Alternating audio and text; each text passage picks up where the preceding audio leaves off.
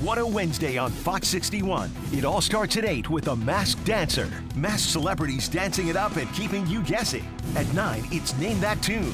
The iconic music guessing game is back and better than ever. Followed by Fox 61 News at 10.